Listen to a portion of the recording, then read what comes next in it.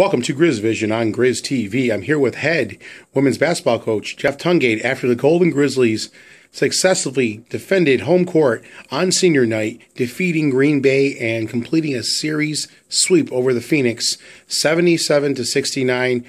Coach, I don't know what it is about this team, but they put it all together when it counted the most for a huge win on senior night. Your thoughts? Yeah, I mean, I thought, you know, we played extremely hard. I thought we defended pretty well. I thought we did a great job executing our offense. I thought in the second half we got to a stretch where, you know, I told them during a timeout, bottom line is you're just trying too hard. And I said, let the offense try hard for you. And once we started getting back to the flow of our offense again, I thought we got some great looks, made some big plays, we got some key stops when we needed. And I thought we were pretty physical on the boards rebounding tonight.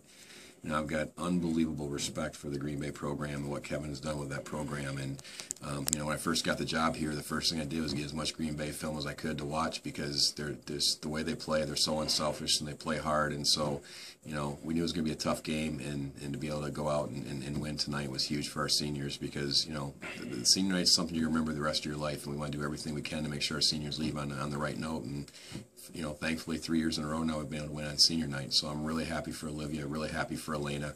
Um, they, they, they deserve this win, and, and I'm just really, really proud of them. And, you know, tonight it wasn't about who we played. It wasn't about the last game of the year. It was about our two seniors, and that's the way it's always going to be in our program. It's going to be about the seniors, and they stepped up, they responded, and our teammates responded for them. And I thought that was a, a great, great victory for them to go out with. And, Coach, we'll talk about the total team effort because I, you could tell the team. I, I, mean, I honestly believe this was probably one of the best games from start to finish that we did played the whole season.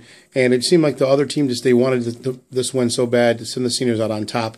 And let's look at the facts. You've won three out of four at, against Green Bay, two on their home court.